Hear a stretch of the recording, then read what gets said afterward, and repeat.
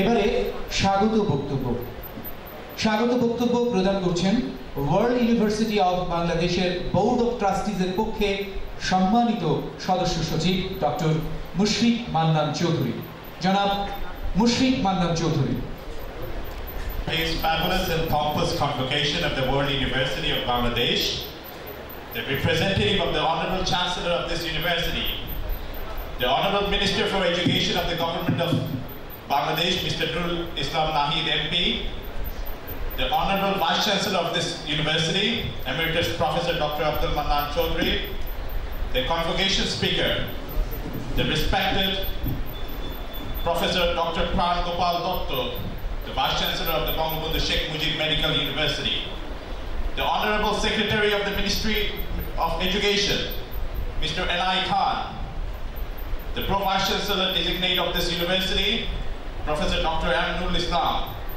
the Treasurer of this university, Murshida Chaudhry, the respected members of the Board of Trustees and Governors, the members of the Academic Council and Syndicate, the university's academics, deans, heads of departments, and teachers, the wonderful and recognition.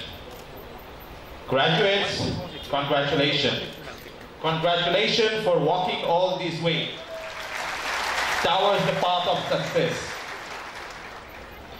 If we look into the birds of Siberia, they travel thousands of miles to protect themselves from the cold of the north.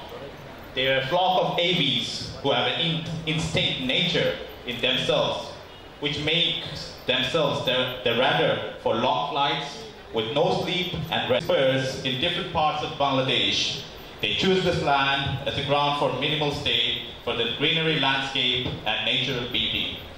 Once this period is over, they travel back to their abode of pleasure, that is the harsh climate of the tundra Siberia. Like these birds, throughout a person's life, a person may choose a university, a place for his abode of peace, a place where the person stays for a while.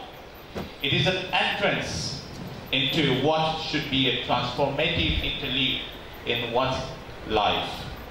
During the stay, the person acquires or feeds on the knowledge and learning, and once he or she finds themselves qualified, they move on to the harsh and real world of reality, that is the job market, or the life of survival. Hence, like the Cygnus columbianus, today you have left this world of pleasure and friendship to enter the world of hardship. It is a time for joy as well as a time to plan ahead. As you have planned ahead when you took the chance of study here, it is now the time you plan more precisely for the days to come. Our graduates have had excellent grooming from World University. Some have been very successful in the construction and the engineering in, in industry. We find graduates in different parts of the world, especially in Oman, Dubai, and in the Middle East. We also find graduates pursuing higher education in universities in the East and West. I myself have encountered a lot of students in the UK working part-time, fostering their dream of success and, uh, and studying hard for upliftment. You find students everywhere. When you travel throughout Bangladesh, as graduates, you are our ambassadors. Your words and thoughts are the pillars of our success. As you progress onwards, we find the spirit to move onwards. Your fame is our fame. Your future is our future. Hence, this university, being your alma mater, is a mother to you. You have received the nourishment from here, and hence, as the days come, your achievement will make us proud.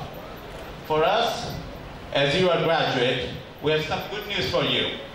This is a year of accomplishment and success as we open the doors of our new permanent campus in Uttara, northern part of Dhaka city.